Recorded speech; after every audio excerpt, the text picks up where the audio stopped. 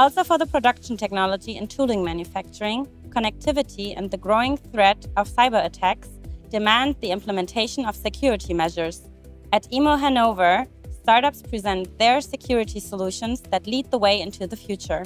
Every company needs to protect its data. New solutions specialized for the OT sector, Zero Trust. Plug and play, security made easy, and to minimize cyber risk in the manufacturing industry.